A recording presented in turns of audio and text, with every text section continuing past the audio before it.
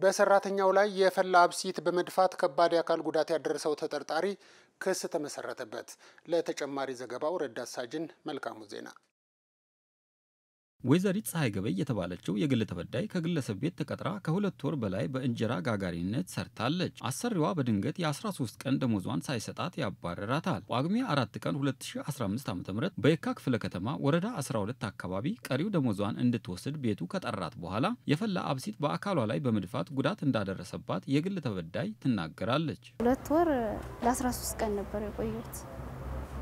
ከዛ ከስራ ወጥቼ ስራ ሊብየው የ13 ቀን ነበር የቀረብኝና ያን ሂሳብ ሊሰራልኝ ነይ ብሎኝ ልክ ደውሎልኝ ሂጄ ሰርተን ምናምን ጨርሰን ስናበቃ ልክ ነይ ወደ ቤት ውጭ ላይ ነበር ሂሳብ የሰራንና ወደ ቤት ነይ ብሎኝ ልክ ወደ ቤት ስገባ አብሲቱን ደፈቁ።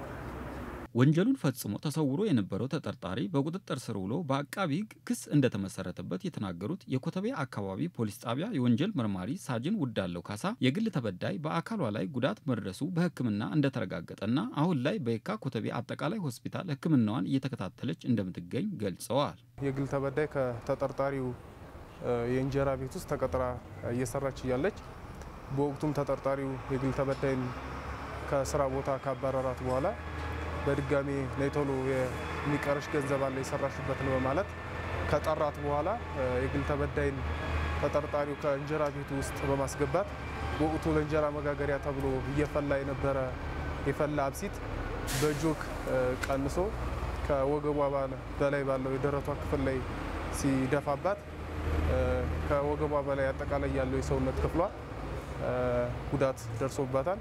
የደረሰውን ጉዳት በወቅቱ ይኸው የፈላ አብሲቱን ሲደፋባት ቆዳዋ ውሃ እየቋጠረ አጠቃላይ የተላላጠበት ሁኔታ ነው ያለው።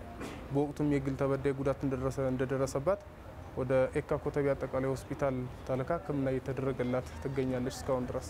አንድ ሰው በሌላ ሰው ላይ ከባድ የአካል ጉዳት ያደረሰ እንደሆነ እንደ ጥፋቱ ክብደት እስከ 15 ዓመት ሊደርስ የሚችል እስራት ቅጣት ሊያስቀጣ እንደሚችል በ1996 ዓ ም የወጣው የኢፌዴሪ የወንጀል ሕግ አንቀጽ 555 እዝባር ሀመሮሃ ስር ተደንግጓል። ከሰው ቤት ተቀጥረው የሚሰሩ ሰራተኞች በአሰሪዎቻቸው የመብት ጥሰት ሲደርስባቸው በአካባቢው ላለው የጸጥታ አካል ወዲያውኑ ማሳወቅ እንዳለባቸው መርማሪው በመልእክታቸው አሳስበዋል።